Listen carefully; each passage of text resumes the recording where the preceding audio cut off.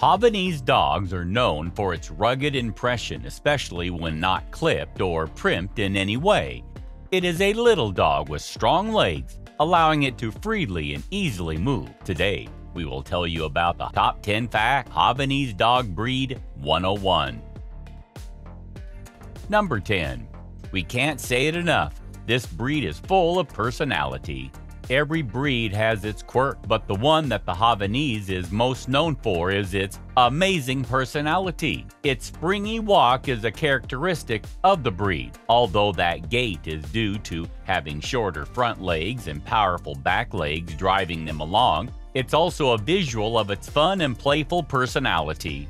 This breed is the life of the party. It loves to be with its people, and it loves to be the center of attention. As long as the family is all together, the Havanese is happy. The Havanese is a gentle and affectionate breed that thrives on human companionship. Your Havanese will often follow you from room to room throughout the day, and he can get very anxious when left alone. He's intelligent as well, and will enjoy making you laugh with goofy antics or simply sitting on your lap watching the world go by. Temperament is affected by a number of factors, including heredity, training, and socialization. Puppies with nice temperaments are curious and playful, willing to approach people and be held by them. Choose the middle of the road puppy, not the one who's beating up his litter mates or the one who's hiding in the corner. Always meet at least one of the parents. Usually the mother is the one who's available to ensure that they have nice temperaments that you're comfortable with. Meeting siblings or other relatives of the parents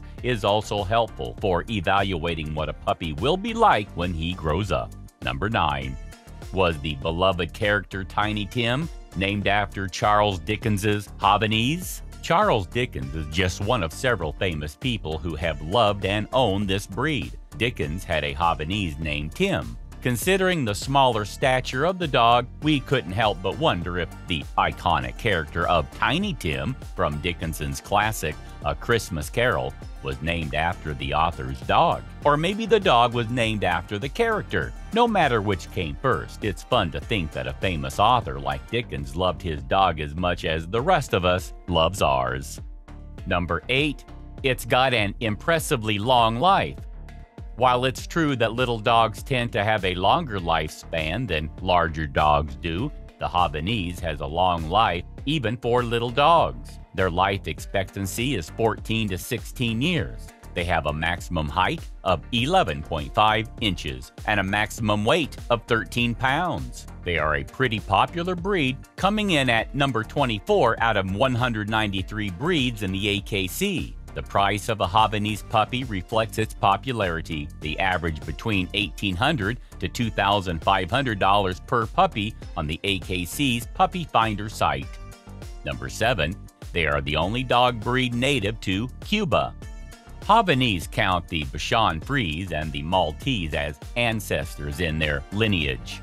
The breed was said to be brought to Cuba by Spaniards, and Cubans spent years molding the breed, mixing it with poodles to create the dog that we know today, thus making it the only breed that is native to Cuba. Havanese were called the Havana Silk Dog and became the lap dogs of the wealthier people in that country. They came to America with their Cuban owners who were fleeing Castro and the communist regime. When Castro came to power in 1959, Cubans started leaving the country and came to America, and they brought their dogs with them. Americans fell in love with Havana silk dogs, and in 1979, the Havanese Club of America was formed. The American Kennel Club formally recognized the breed in 1999, making it the 142nd breed registered with them. Number 6. They require regular grooming. The coat of an adult Havanese can be either long and silky or it can be kept short. If it's long, it needs to be brushed out consistently to prevent it from matting or knotting. A puppy's coat will be very fluffy before it grows if an owner decides to let it grow. No matter what style an owner chooses for his dog, regular grooming and trimming will be required. The breed doesn't shed much, which makes combing and grooming even more important. Unlike other breeds that have very specific color or marking requirements in order to be considered for a show dog, this breed's coat can be any color and it can have any type of marking on it. The coat can also be corded, but the whole body should be covered with cords if that's how you want the dog's coat to look. The Havanese coat is thick but silky, soft, and light, and it doesn't shed easily. The coat is long and ranges from straight to curly, although wavy is considered the ideal for the show ring.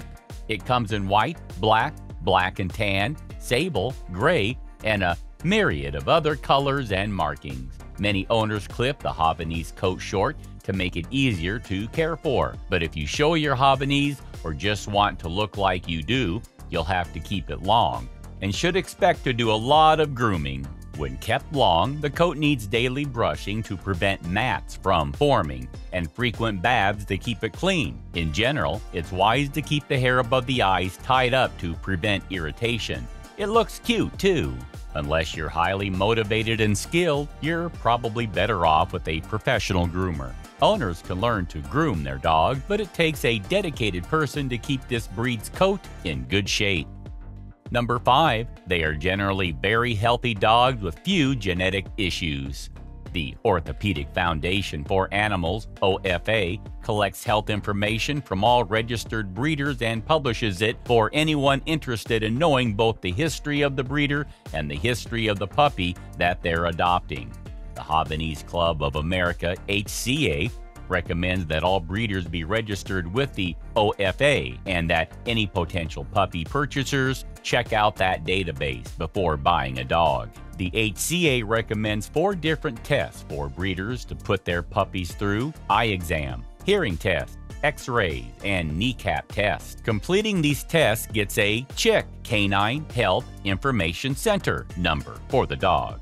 The HCA is so committed to promoting health in the breed that they won't list breeders on their website unless the dogs being bred have CHIC numbers. Number 4. Havanese have a prize-winning temperament.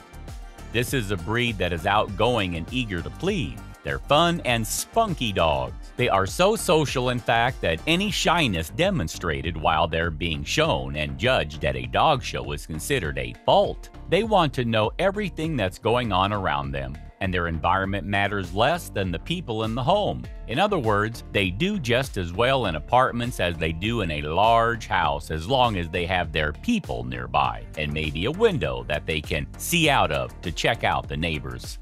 Number 3. They are a tough member of the toy group. The toy group of dogs, as designated by the AKC, is comprised of animals that are much smaller in size. They're usually considered to be a little bit more delicate than larger breeds, and extra care should be taken when playing with them. That's not the case with the Havanese. They are more rough and tumble by nature and love playing hard with their humans. Their temperament makes them want to join in the fun no matter what's going on. They're even good swimmers if they've been raised around water. Number two, this easygoing breed is great with kids and other pets. One of the key characteristics of the Havanese that we've already highlighted is their loyalty. They love nothing more than hanging out with their people, and that includes children. They welcome attention from kids, unlike other smaller breed dogs, and typically get along very well with other animals in the home. Early socialization is critical, as it is with most breeds, but the Havanese generally get along well with people and pets. Number 1. This breed does not need a lot of exercise, making it an excellent dog for older owners. The Havanese is quite content with a short daily walk and a few other outings throughout the day to relieve himself outside. However, one of the breed's favorite things to do is play with their owners, and it loves a good romp around the backyard. While you have to be careful not to let them over-exercise, letting them have a good romp in the backyard will release a lot of energy that might otherwise get misdirected into naughty misdeeds in the house. Do let us know in the comments if you want to buy this awesome breed. Please subscribe to The Amazing Dogs. Thanks for watching.